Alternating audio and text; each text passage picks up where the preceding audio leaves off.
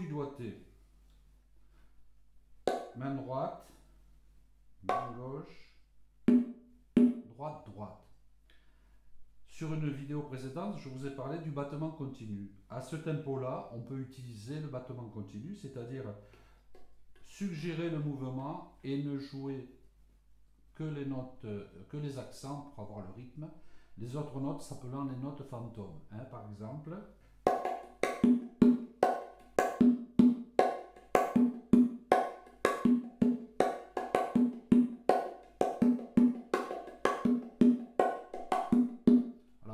par derrière les, petites touches.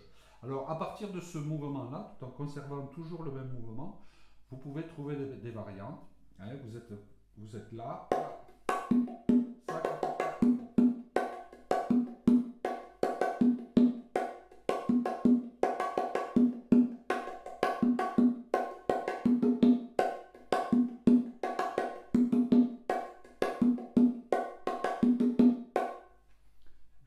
Maintenant le battement continue.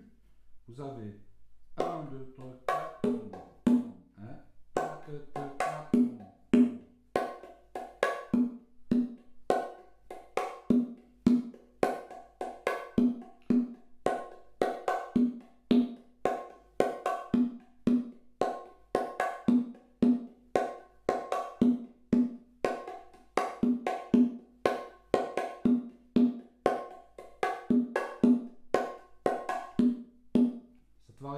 comme ça.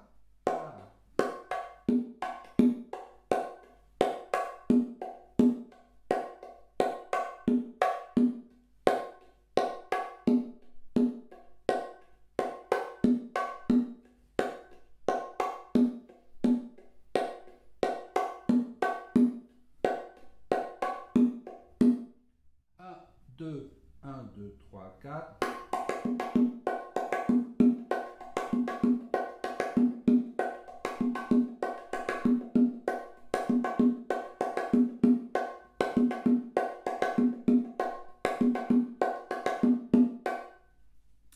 Départ, ce rythme se joue sur une mesure.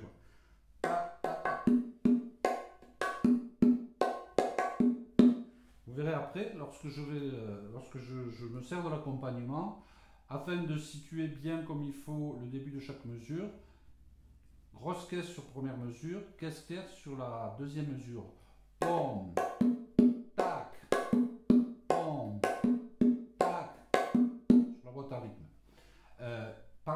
Il y a l'accompagnement de la clave antillaise qui fait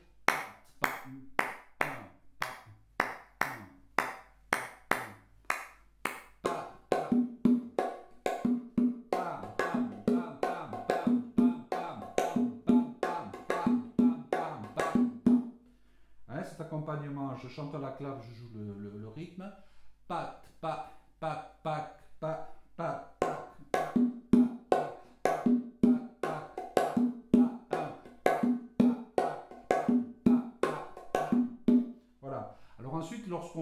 On peut faire tourner le cycle sur deux mesures. Hein. C'est la, variante que je vous ai montré précédemment. C'est ce qui se passe. Elle tourne sur deux claves, deux claves euh, créoles. Hein. Pat, pat, pat 2, pat, pat 1, pat, pat 2, pat, voilà, qui se répète. Sinon, le rythme de base, lui, tourne sur une mesure. Donc, vous pouvez très bien faire une variante.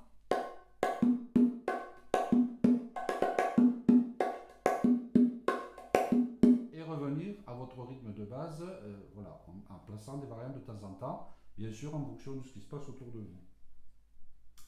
L'évolution de ce, de ce rythme de base se rapproche d'une euh, un peu d'un merengue. Je vous explique.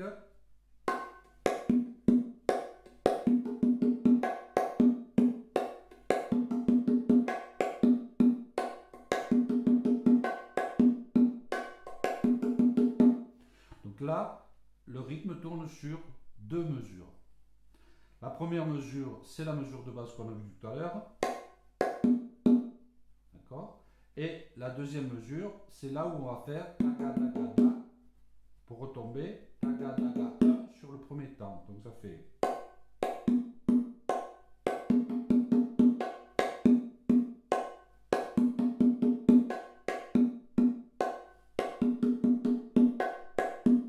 lorsqu'on reprend le rythme, vous voyez la main gauche.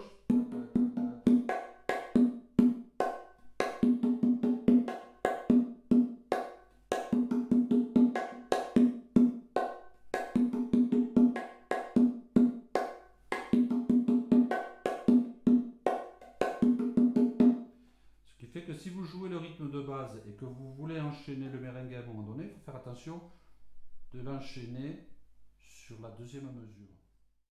Je vous le joue avec la boîte à rythme pour que vous voyez la première mesure démarre lorsqu'on entend la grosse caisse, la deuxième mesure quand on entend la caisse claire. Exemple. 1,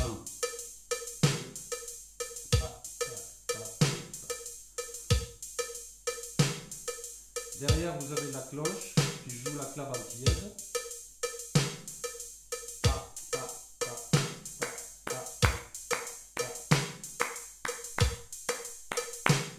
Alors cette clave-là peut nous servir d'appel pour le. Exemple.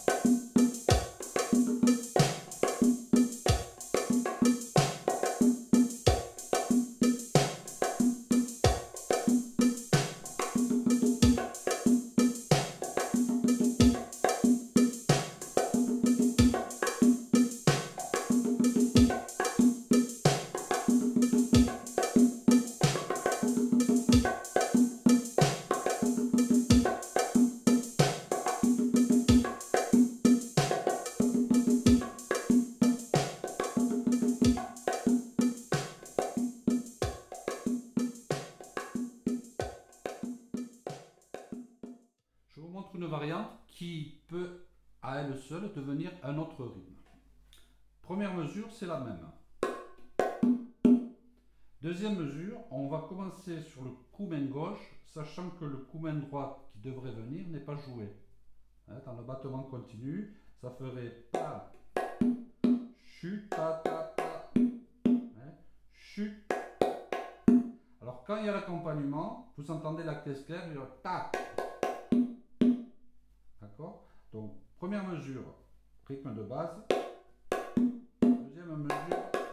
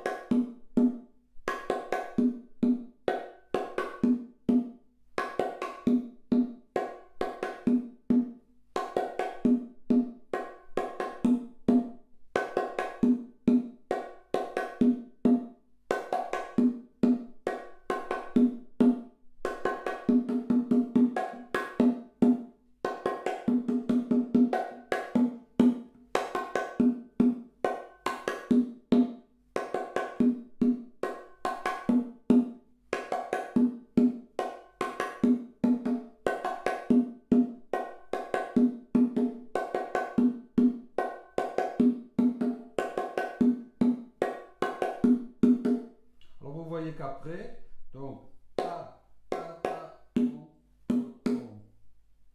c'est le même mouvement que vous faites sur les aigus, vous le reproduisez sur les graves.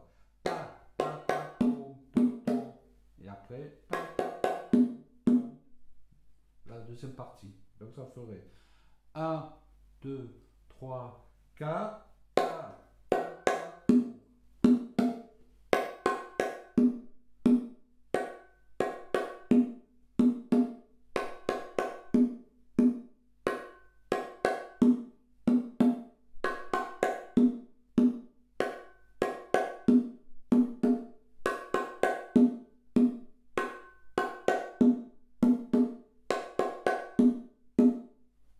L'accompagnement, en enchaînant, à partir de ce nouveau rythme, en enchaînant les variantes que je vous ai montrées.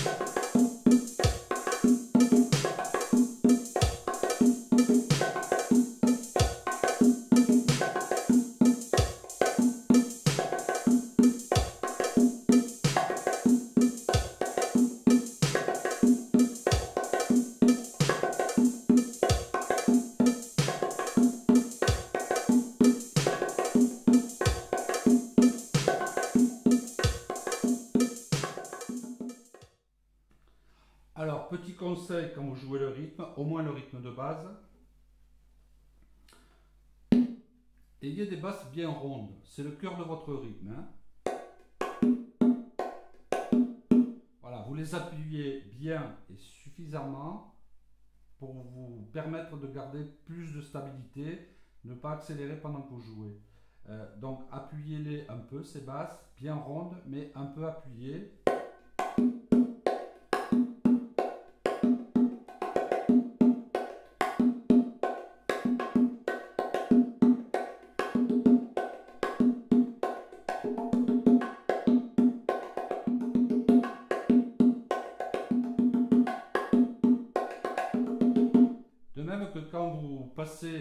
À cette formule-là, essayez de le faire crescendo.